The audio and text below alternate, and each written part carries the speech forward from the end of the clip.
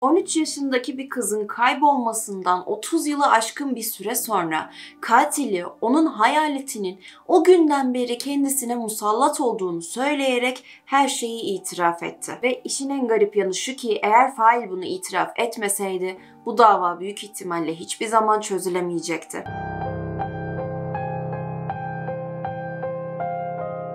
Merhaba kanalıma hoş geldiniz. Bugün Karanlık Dosyalara bir yeni bölümle daha devam ediyoruz. Ve Karanlık Dosyaların bugünkü bölümünde Carrie and Joe Peck davasından bahsedeceğiz. Ama videoya geçmeden önce Karanlık Dosyalar podcastinde bu hafta işlediğimiz bölümü yani ekranda gördüğünüz bölümü hala dinlemediyseniz eğer açıklamaların en başındaki linkten ulaşabilirsiniz. Evet şimdi videomuza geçebiliriz. Carrie and Joe Peck 17 Ağustos 1968 tarihinde Milwaukee, Wisconsin'da dünyaya geldi. Annesi Annesi Carolyn, babası Fred ve küçük kız kardeşi Maggie'ydi. Ailecek böyle çok samimi, aile odaklı olan bir mahallede yaşıyorlardı. Hatta mahalledeki böyle evlerin hepsi yan yana sıralanmıştı. Böyle birbirleriyle çok bitişik gibi sıralanan evler olur ya. Öyle bir mahalledeydiler ve çocuklar da sokakların lambaları yanana kadar yani klasik akşam olana kadar dışarıda oynarlardı. Güven içerisinde, huzur içerisinde oynarlardı. Ailelerde çok fazla bir şeyden endişe etmezlerdi. Çünkü güvenli bir yerdi dediğim gibi. Böyle bir toplulukta yaşıyorlardı yani ailecek ve annesinin söylediğine göre Carrie Ann çok güzel, sanatsal ve okulda da başarılı bir öğrenciydi. Buna ek olarak temelde evet çok iyi bir kızdı ama ona bir şeyi yapmasını söylerseniz ille de tersini yapardı. Bir o kadar da inatçıydı yani ve insanlar ona ille şunu yap bunu yap dedikleri zaman sinirlenirdi yapmıyorum diye çıkardı. Bu huyunu çok iyi anlayabiliyorum çünkü maalesef bende de var bu ve bir şey bana defalarca söyleniyorsa özellikle yani ya da zaten yapacağım bir şeyi hadi yapmayacak mısın? Ne zaman yapacaksın? Yapsan artık. Bu tarz sözlerle insanlar bana hatırlattığında bende de aynı şey yaşanıyor ve hani kafamda zaten her şeyi planlamıştım. Her şeyi yetiştirecektim. Şu şekilde yapacaktım ama şu anda yapmak istemiyorum diyorum. Bu yüzden aslında Carrie'yi anlayabiliyorum bu açıdan. Her neyse kendisi anladığınız üzere birazcık asi bir kızdı ve çok da özgür ruhlu ruhluydu. Ama dediğim gibi özünde iyiydi yani. Önemli olan da bu zaten. Bu dik başlılığına rağmen Carrie annesiyle çok yakındı. Ama üvey babasıyla bundan ötürü bazen tartışmalar yaşayabiliyorlardı ve gergin bir ilişkileri olabiliyordu. Çünkü evdeki disiplin üvey babasından sorulurdu ve o kendi kurallarına uyulmadığı zaman çok öfkelenirdi. Carrie de özellikle uymazdı bazı zamanlarda. Şimdi gelelim 16 Mart 1982. Carrie bu tarihte 13 yaşındaydı ve ortaokul 7. sınıfa gidiyordu. O gün okulda bazı şeylere baş kaldırdığı için yani biraz sıkıntı çıkardığı için onu okuldan uzaklaştırmışlardı. Ve saat yaklaşık bir buçukta bugün eve gideceksin, öğleden sonranın geri kalanını da evde geçireceksin. Bugün okulda olman yasak demişlerdi. Carrie'nin evi de okula zaten kısa bir yürüme mesafesindeydi. Ama annesinin söylediğine göre Carrie o gün bunu bilerek yapmış olabilirdi. Yani bilerek kendini uzaklaştırmış olabilirdi. Çünkü başka planları vardı. Bundan ötürü okulda olmamayı tercih etmişti. Bu planı ise en yakın arkadaşı Robin Ment'in evindeki partiye gitmek gitmekti. Robin'in evi zaten Carrie'nin evinin hemen karşısındaydı. Bundan ötürü okuldan çıktıktan sonra eve tekrardan girmeye zahmet etmedi ve direkt olarak Robin'in evine gitti. Ama bu eve girdikten sonra Carrie bir daha hiçbir zaman görülmedi. Annesi hemen endişelenmemişti. Yani sonuçta karşı komşu olan arkadaşının evindeydi. En yakın arkadaşı kim bilir kaç kere gidiyordu oraya yani sürekli oradaydı büyük ihtimalle. Ama daha sonra artık gece olduğunda ve Carrie hala eve dönmediğinde endişelenmeye başladı. Orada olup olmadığını görmek için Robin'lerin evine gitmeye karar verdi. Ve oraya gittiğinde Carolyn içeride Robin dışında birkaç tane daha çocuğun gencin olduğunu gördü. Ama hepsi de Carolyn'e Carrie'yi görmediklerini söylediler. Bunun üzerine Carolyn kızının Carol'ın diğer arkadaşlarını aradı ve onlar da nerede olduğunu bilmediklerini söylediler. Ve işin ilginç tarafı ise Carolyn o gün eve gittiğinde ona bir parti olmadığını söylemişlerdi. Aileden gizli yapılıyordu belki o yüzden söylemiyorlardı bilemiyorum. Ama Carolyn'e yo biz burada parti yapmıyoruz burada bir parti yok demişlerdi. Ve Carolyn bu partinin varlığını çok çok sonra öğrenecekti. Akşam saat 23 civarında mahalleli de öğrenmişti tabii ki kaybolduğunu Carrie'nin ve hep birlikte evlerinden çıktılar mutlaka bir arkadaşının ev evindedir diye kapı kapı insanların evlerini gezmeye başladılar orada mı diye sordular. Ama maalesef ki hiçbir şansları yoktu çünkü Carrie'ye dair hiçbir haber alamadılar. Ertesi gün Carolyn polise kızının kaybolduğunu bildirdi. Ama bu davalarda maalesef böyle şartlarda çok duyduğumuz bir cevabı aldı. Polisler ona kızının işte ergen olduğunu, hatta asi bir ergen olduğunu ve büyük ihtimalle okuldan da uzaklaştırılınca arkadaşlarının birine gittiğini ya da evden kaçtığını, endişelenmeleri gereken bir şey olmadığını söylediler. Hatta belki de okuldan uzaklaştırıldığı için ailesinin vereceği tepkiden korkuyordu ve bu yüzden gelmiyordu. Ama tabii ki e, Carolyn bu konuda çok endişeliydi. Kızının başına bir şey geldiğinden emindi. Bundan ötürü Karen'in yakınlarda yaşayan biyolojik babasını aradı. Karen'in biyolojik babası Carolyn'le artık birlikte değildi tabii ki.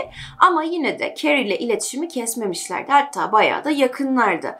Ve o da bütün gün işteydi o gün söylediğine göre. Carrie de hiç duymamıştı. Ondan herhangi bir haber almamıştı. En azından medya Carrie'nin kaybolduğunu kabullenmiş gibi görünüyordu ve onlar artık haberi alıp şehrin dört bir yanına, e, ülkenin dört bir yanına yaymaya çalıştılar. Ve şehrin her yerine de Carrie'nin kayıp kişi posterleri asılmaya başlandı. Bu posterler aynı zamanda gazetelerinde ön sayfalarında yayınlandı. Ailesi Carrie'nin başına bir şey gelmiş olduğundan emindi. Ve hani Carrie'nin biraz asi olduğu biliniyordu ama annesine haber vermeden bu kadar uzun süre ortadan kaybolacak bir çocuk değildi. Medyanın ilgisiyle birlikte bir ton ipucu da geldi tabii ki. Şehrin farklı yerlerinden insanlar farklı yerlerde farklı zamanlarda Carrie'yi gördüklerini iddia ediyorlardı. Ve bu her ne kadar aileye Carrie'nin hala hayatta olduğuna dair bir umut verse bile bu ipuçlarının hiçbiri herhangi bir yere götürmedi ve bir sonuç alınamadı. O sıralar Milwaukee çok güvenli bir yer olarak görülürdü ve bundan ötürü de polisler bir adam kaçırma ya da bir cinayet vakası olduğuna şüphelenmiyorlardı. Hatta Carrie'nin ailesine şüphelerini çevirmişlerdi. Özellikle de üvey babası Fred'e. Hatırlarsanız ki Fred'le Carrie genellikle anlaşamıyorlardı ve Carrie sürekli asilik yaptığı için diyelim, baş kaldırdığı için Fred'le tartışırlardı. Ve Fred de sadece son 4 yıldır hayatlarındaydı aslında onların. Bundan ötürü Carrie ona babasına itaat ettiği gibi itaat etmek zorunda olduğunu düşünmüyordu. Ve bu yüzden aslında e, Fred de Carrie onun kurallarına uymadığında çok öfkeleniyordu. Polisin özellikle dikkatini çeken bir diğer nokta ise Fred'in çok yakınlarda bahçelerine böyle taze betondan bir veranda yapmış olmasıydı. Ve polisler bundan ötürü bir şey sakladığını düşünmeye başladılar. Belki de bir ceset saklıyordu bahçede ve üstüne beton dökmüştü bulunamasın diye. Fred Carey'e hiçbir şey yapmadığını söyledi. Bütün bu iddiaları reddetti ama polis yine de emin olmak için onun bahçesini bu e, yere nüfuz eden kıran şeyler var ya görürsünüz arada inşaatlarda vesaire. Bu e, betonu delen araçlarla oraları deldiler ve e, bahçenin içerisini aradılar. Ama Fred'in de söylediği gibi orada hiçbir şey yoktu, bir şeye rastlayamadılar. Bu şekilde Fred şüpheli listesinden çıkarılmış oldu. Carrie Ann'in hayatında yakından inceledikleri bir kişi daha vardı. Bu da en yakın arkadaşı Robin Mant'in abisi Johnny Mant'ti. Carrie anlaşılacağı üzere Robin'in evinde çok fazla vakit geçiriyordu. İkisi en iyi arkadaşlardı ve Carrie tam anlamıyla karşı caddede yaşıyordu yani. Ve o sırada abisi yani Robin'in abisi Johnny de 17 yaşındaydı. Hala da aile ailesiyle yaşamaktaydı. Hatta Carrie kısa bir süre önce annesine Johnny'nin kendisine ilgi gösterdiğini ve onunla yakınlaşmaya çalıştığını söylemişti. En azından söylediğine göre Johnny'den böyle bir enerji alıyordu. Johnny'nin ise biraz baş belası bir tip olduğu bilinirdi çevrede. Kendisi böyle ufak tefek suçlardan yasayla başını derde sokmuştu zamanında ve buna ek olarak da kızların işte alkol ya da yasaklı madde almak istedikleri zaman Johnny'ye gittiklerini ve onun aracı olduğunu söylüyordu insanlar var. Ama polis görüştüğünde Johnny o gün Carrie'yi hiç görmediğini, onun ortadan kaybolduğu gün bütün gün evde tek başına olduğunu söyledi. Polislerin elinde onu Carrie ile direkt olarak ilişkilendiren bir kanıtta olmadığı için bunu kabul etmek zorunda kaldılar ve üstüne çok gidemediler. Carrie Ann'e ne olduğuna dair hiçbir cevap alınamadan aradan bir buçuk yıl geçti. Ve sonra Eylül 1983'te çok kötü bir keşif yaşandı. Bu da Carrie'nin ailesinin evinin karşısında bulunan Ment ailesinin evinde yenileme çalışmaları yapılırken olmuştu. Yani Robin ve Johnny'nin evinden bahsediyorum. Evin yenileme çalışmalarındaki projelerden birisi evin arka tarafındaki verandanın yenilenmesiydi. İşi yapması için bir müteahhit çağırmışlardı ve o da o sırada eski verandayı yıkmakla meşguldü. Eski verandayı tabii ki yıkıp alttaki zeminden ayıracaktı ve ardından zemini düzleyecekti. Bundan ötürü toprağı kazmaya başladı. Ama daha toprağı kazmaya başlar başlamaz çok korkunç bir şeyin kokusunu aldığını fark etti. Ve daha dikkatli bir şekilde baktığında bu kokunun orada cenin pozisyonunda kıvrılmış halde yatan ve çürümüş bir cansız bedenden geldiğini anladı. Bu cansız beden bulunduğunda Robin'in abisi Johnny de oradaydı ve gözle görülür bir şekilde sarsılarak ağlamaya başladı. Hatta ardından gidip e, yediğine varsa çıkardı. Bundan dolayı da birçok kişi bunun bir suçluluk işareti olabileceğini düşünmüştü aslında. Adamın yaptığı bu keşfin haberi de mahallede hızla yayıldı tahmin edeceğiniz üzere ve hemen karşı komşu olan Carrie'nin annesi de koşa koşa eve doğru gelmeye başladı. Arka bahçeye gitti hemen verandanın oraya bakmak için ve aslında yani bu haberi aldığından itibaren Carrie olduğundan emindi bulunan kişinin. Polis geldi ve evi kordon altına aldı insanlar girip çıkamasın diye ve oradaki iskelet kalıntılarını vesaire de toparladılar. Dört gün sonra ise diş kayıtları aracılığıyla bu kişinin Carrie Jopek olduğu ortaya çıkarıldı. Kendisi son görüldüğü kıyafetlerinin içerisinde gömülmüştü ve otopsiye göre baş ve boyun bölgesine aldığı darbelerin sonucunda kafatasının içerisinde meydana gelen bir kanamadan dolayı dolayı hayatını kaybetmişti. Tahmin edeceğiniz gibi Carrie'nin cansız bedeni Ment ailesinin evinin altında bulunduğu için gözler tekrardan Johnny Ment'e çevrildi. Polis onu tekrar sorguladı ama yine de ellerinde onu ilişkilendirecek net bir kanıtı yoktu. Bundan ötürü tekrardan serbest bırakmak zorunda kaldılar. Yine de mahalleli konuşmaya başladı tabii ki. Yani bu küçük bir topluluktu ve Carrie'nin cansız bedeni bir buçuk yıl nasıl bu ailenin verandasının altında durdu diye insanlar düşünüyorlardı. Özellikle de sığ bir şekilde oraya gömülü olduğunu düşünürsek bu evde yaşayan hiç kimse mi bunu fark etmedi diyorlardı ve daha sonra bunun, bu şüphelerin ardından da yaşanan parti hakkında da dedikodular dönmeye başladı. O gün gerçekten bir parti yaşandığına ve Johnny'nin de bu parti sırasında Carrie'nin canına kıydığına dair. Polis parti hakkında hakkında ilk defa bir şey duyuyordu bu söylentiler ortaya çıktığında ve bundan dolayı yeni bir teoriye ve konuşacak yeni şüpheliler bulmalarına yol açtı bu da. Ancak Johnny hala evde hiçbir parti yapılmadığında ısrarcıydı ve e, hiç kimse de partiye katılan kişiler bile evet orada bir parti vardı ve biz de orada bulunduk, Carrie de oradaydı demedi. Çok ilginç bu kadar kişinin ağız birliği mi yaptı diyeyim artık hiçbir şey söylememesi çok garip geliyor bana açıkçası. Ve sonuç olarak polisler yine parti teorisinde tıkanmış oldular. Bir yere gidemediler.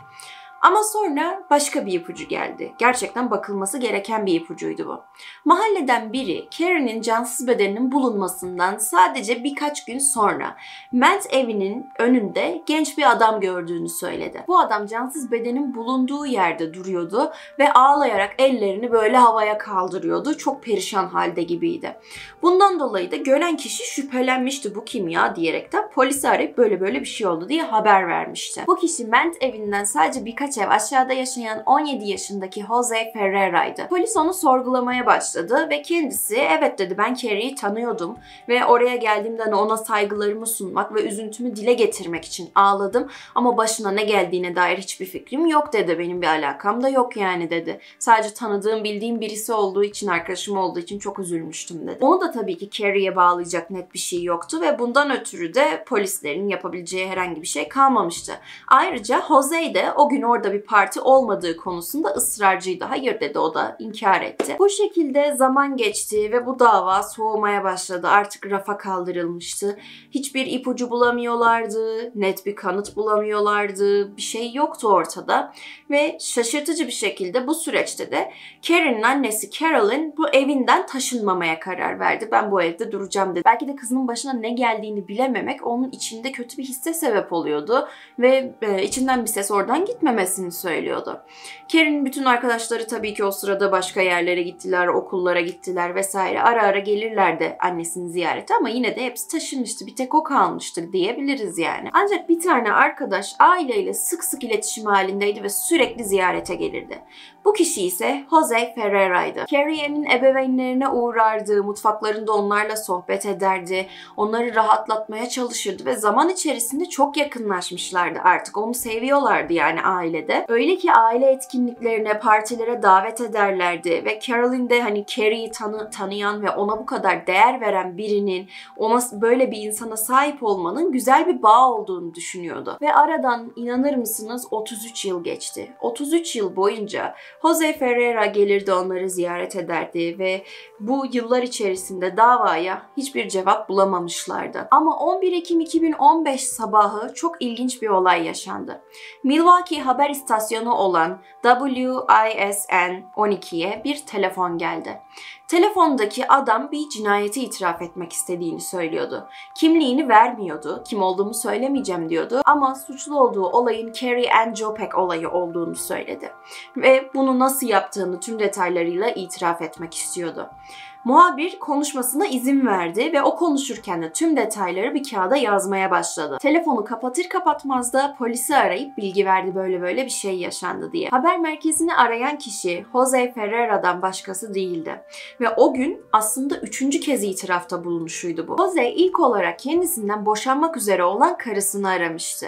Ve ona partide Carrie Ann'le tanıştığını ve onun canına kıydığını söylemişti. Karısı ise bu telefonun ardından hemen West Milwaukee Milwaukee polis merkezine gitmişti ve olanların hepsini onlara anlatmıştı. Ardındansa Jose bir kriz yardım hattını aradı ve oradaki danışmana neler yaptığını anlattı. Kent evinin verandasının altına Carrie'yi gömdüğünü söyledi. Hatta bu görüşme sırasında kriz hattındaki danışmana da sessizce mi ortadan kaybolmak istiyorum işte hani hapse girmek istiyorum yoksa herkese her şeyi duyurarak mı yapmak istiyorum bilmiyorum demişti.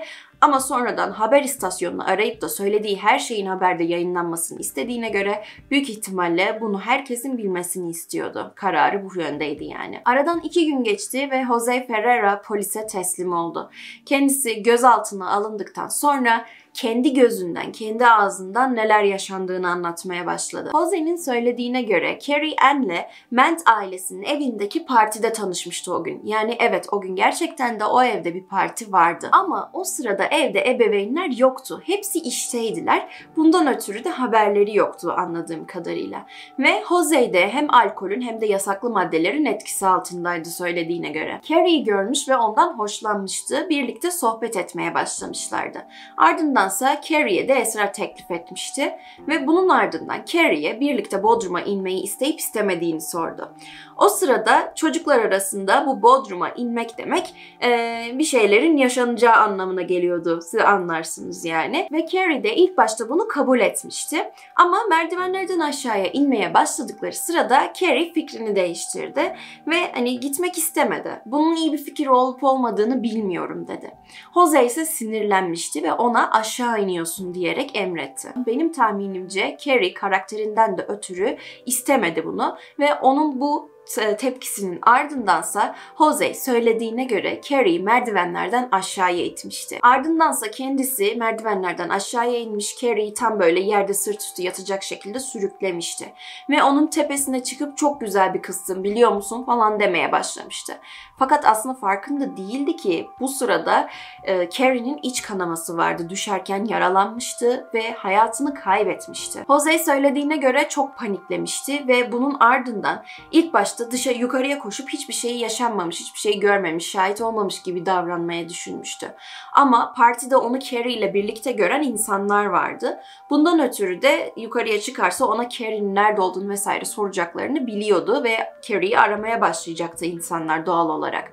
Bu yüzden alıp Carrie'nin cansız bedenini Bodrum'dan dışarıya doğru açılan bir kapıdan çıkardı. Ardındansa evin arka verandasının altına sığ bir mezar kazdı ve onu oraya gömdü.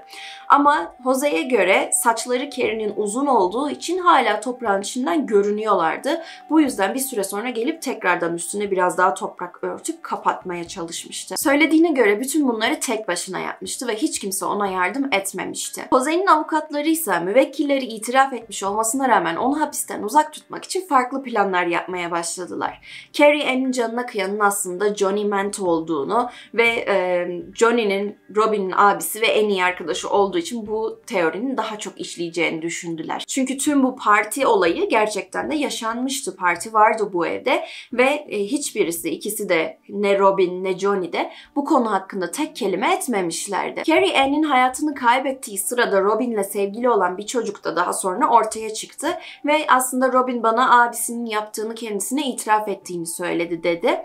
Ama Robin hani bunun tamamıyla alakasız olduğunu, bu adamın işlediği bir suçtan daha az ceza alabilmek adına böyle bir yalan uydurduğunu söylediğini belirtti ve e, bu teoride daha fazla takip edilmedi açıkçası. Ama aradan çok zaman geçmişti. 33 yıl geçmişti arkadaşlar ve e, birçok eyalette de var, ülkemizde de yaşanıyor biliyorsunuz. Zaman aşımı diye bir şey var. Bu kanalda daha önce bundan bahsetmiştik. Mesela üstünden 20 yıl geçtikten sonra zaman aşımı olduğu için o suçu bu kişi işlememiş gibi olabiliyor ve e, bunu o kişiyi bu konudan cezalandıramayabiliyorlar. Bundan ötürü aslında savcılık bu konudan endişe ediyordu. Çünkü adam gerçekten ceza almazsa sıkıntı olacaktı onlar için de. Ve e, Jose'yi hızlı bir şekilde yargılamaya başladılar. Bu yargılamanın sonunda evet tahmin ettikleri gibi e, onun canına kıymaktan bir ceza almadı. Ama farklı suçlardan ötürü ceza alacağı bir anlaşma yaptılar. Ve suçunu da kabul etmesiyle birlikte Jose 7 yıllık hapis cezasına çarptırıldı. Mahkemede ise direkt olarak Carrie Ann'in ailesinden özür diledi ve şunları söyledi. Bütün bu yaşananları geri alamam. Üzgünüm. Kalbimdeki en derin yerden söylüyorum. Çok üzgünüm. Carrie'nin annesi tabii ki dehşete düşmüştü. Yani son 30 yılda kendini gerçekten hayatlarına sokmuş ve çok da sevdirmiş bir adamdı. Carrie'yi de çok sevdiğini düşünüyorlardı bu kişinin ve aslında Carrie'nin canına kıyan ne olduğunu öğrenmişlerdi. Bu kolay sindirilebilecek bir şey değil yani tahmin edersiniz ki. Ve neler olduğu hakkında daha fazla bilgi edilmek için e, Jose ile bir görüşme planladı. Onu ziyarete gitti ve görüştüklerinde Jose çok ilginç bir şey söyledi. Beni bunu itiraf etmeye zorlayan Carrie Ann'in ta kendisi dedi. Jose'nin söylediğine göre Carrie Ann'in canına kıydığı günden beri Carrie her gece onun rüyalarına geliyordu. Her gün hayaleti geliyordu Carrie'nin hatta sırf rüyaları da değil. Sürekli hayatının her günü Carrie'nin hayaleti ona musallat olmuştu. Gidip de bu cinayeti itiraf etmesini, her şeyi polislere anlatmasını söylüyordu.